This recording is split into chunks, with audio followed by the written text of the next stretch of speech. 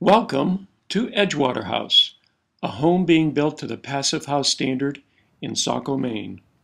We chose Logix brand Platinum Series ICF blocks for the foundation because we like the features, including the embedded graphite particles that provide a 23% increase in R value for the same size block.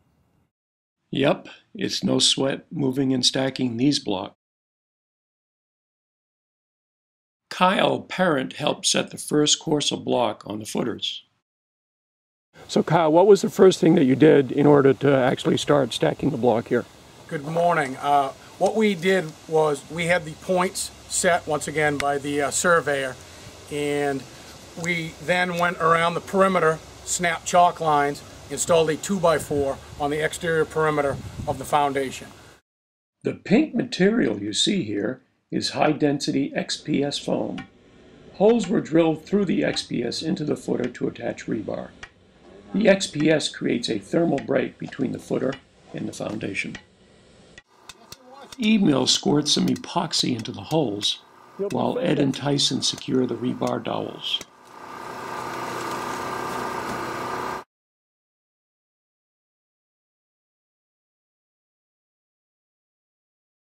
Logix has a pre-formed 90 degree corner that is ready to go. So when you start in your corner, you have a true 90 degree and it also, they make a left and a right hand so you have a natural um, uh, a natural splice in your block, kind of like the old school bricks and mm -hmm. blocks. The splices are, are offset. The corner here is thickened up on the outer edge, and there's uh, internal webbing that braces that. That is correct, which also incorporates on the outside. It's hard to see, but this internal web also incorporates a plastic stud every every eight inches. So if you were to go above grade or to finish off your basement, it's ready for sheetrock immediately. Mm -hmm. There's no internal strap, there's no strapping required after this. You can sheetrock the inside, put some, a cultured stone mm -hmm. right over the styrofoam mm -hmm. block. Um, if you'll notice, the blocks are 16 inches tall. They have a male-female connection for successive courses, oh. whereby they they nest neatly on what I would call the male and female pegs, mm -hmm. and that is how um, the blocks stack, and that gives them lateral structural integrity. Um, on a first course, the block sits as such. You have a 36 inch zip tie, which would in turn go around and that locks the adjacent blocks together on your first course to make sure you're tight. Number 4 rebar was placed horizontally in each course of block. It snaps into the plastic webbing inside the block. 2x4s were also added to pin the interior side of the block.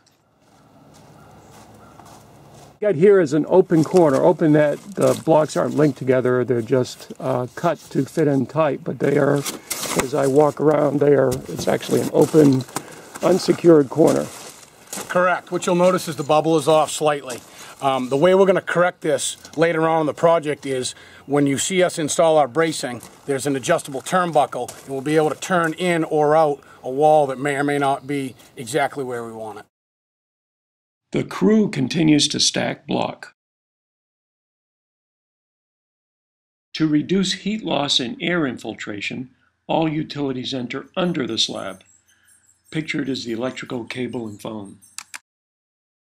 Time to add the internal bracing, which will also serve as scaffolding.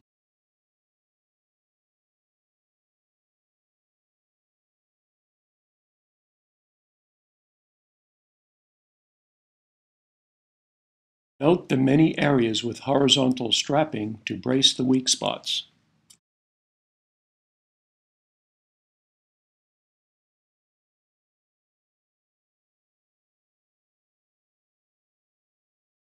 The last steps was to install a number 5 vertical rebar that spans the height of the foundation.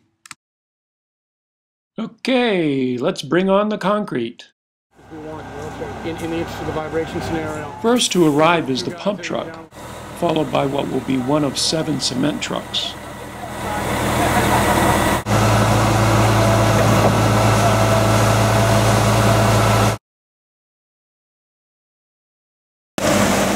While the crew makes sure that the concrete flows evenly to both sides of the hose. others being the inner and outer sides of the block to vibrate and settle the concrete. The crew was a bit tense at the start. A breach in the ICF wall while pouring the concrete can make for an expensive repair and a messy cleanup.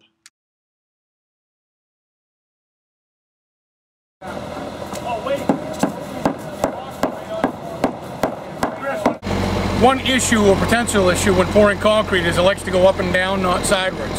Um, with, the bottom of the window well, a full piece of wood getting concrete flow underneath was somewhat of a challenge. However, we were able to uh, vibrate the concrete to the point where it would flow.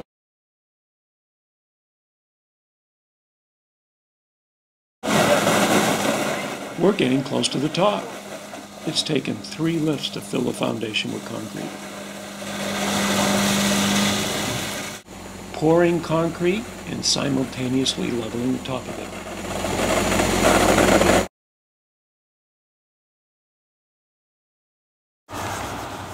The strip of green foam is a temporary placeholder to overlap the adjacent garage slab.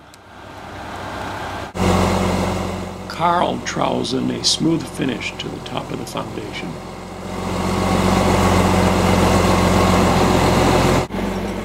Ed measures for the three foot on center wall anchors and then sets them into the concrete.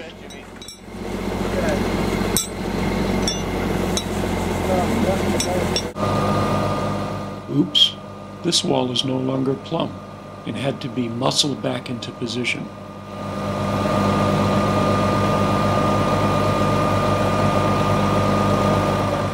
Ed Herring was here from start to finish on the foundation. Aluminum rods that you can see in there only come 10 feet high.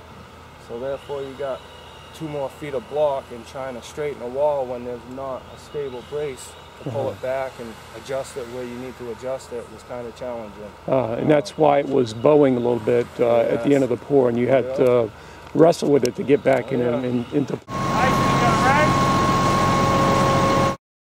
And then it was time for a cold one, as Lynn celebrates with the crew for a job well done.